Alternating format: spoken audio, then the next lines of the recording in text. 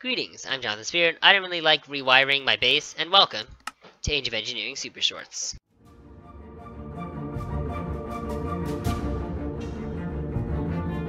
But I'm gonna rewire my base anyway, because I'm about to expand my power generation by a lot.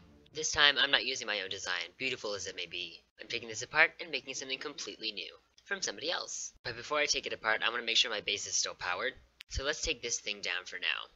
I know I said it'd be a few minutes before this recording, but then I watched a movie and had to go to bed, so I just left this going. You can shift right click on any multi-block block to break it instantly, as long as you have the assembler in your hand. I'll take down this MV wire connector. Sorry, totally wrong MV wire connector. But it's okay, because we're not running any of this stuff anyway. I'll take down this one. Done. Okay, it should be mostly cleared up now. Here's the garden cloches. Ender fluid conduits transfer multiple types of fluid instantly. A bit overkill, but it'll work. The reservoir, when filled with water, stays filled with water. It's like a glorified infinite water source. There we go, the tank should all be filling up now. Now for mini chests in front of the cloches. Item conduit should be hooked up now. This conduit will extract on red, this conduit will extract on brown, and this conduit will extract on black.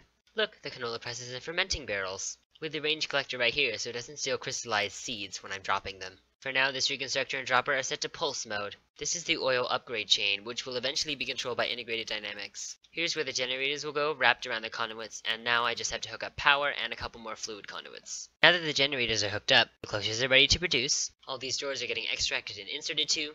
Technically, the barrels and presses are running, this tank is almost empty, and everything's going generally just fine. Or it would be if we had integrated dynamics installed. So let's start working on that. Let's place an inventory reader on the crystallized canola drawer, two redstone writers, an entity reader, another redstone writer here, and here, a block reader here, two inventory readers, and an energy battery and variable store. If the inventory count of the crystallized canola barrel is greater than 2000, then send a redstone signal to the dropper in order to activate it. Because we don't have that many seeds right now, I'm going to calm that number down to 500.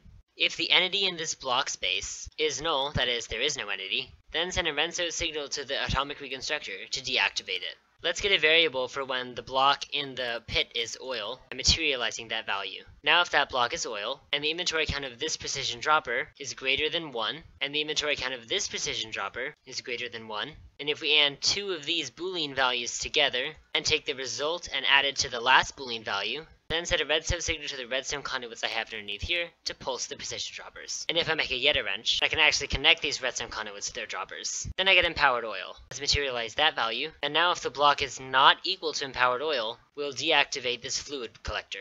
Canola seeds are now transforming and filling up this precision dropper. Because I set this one to deactivation mode. And once this fills up, they'll start going to the empowerer, which is now happening. Oil is now converting. The oil generators are getting filled up with empowered oil. In short, everything is working pretty much perfectly. All I need is 12 more oil generators. Now that we have more than 500 canola seeds, our reconstructor stopped reconstructing. I've just wired the generators up, but I'll have more and better wiring soon. Now I can reinstall my solar panel. In other news, I'm isolating a cultivated strain. I accidentally got a bunch of noble and diligent hybrids. I'm fairly certain fast is the best you can get without Gendustry, and I have no Gendustry, so woe was me. In yet other news, I'm stacking up my watermills because I need 2000 grid power. Why? That's how much I need to get an Elytra.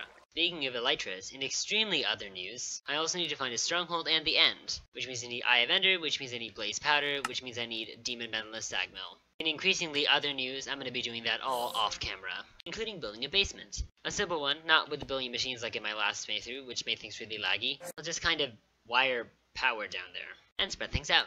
Hopefully that works. So I guess that's it for today's episode. As always, if you have any feedback, I'd love to hear it. I hope you enjoyed.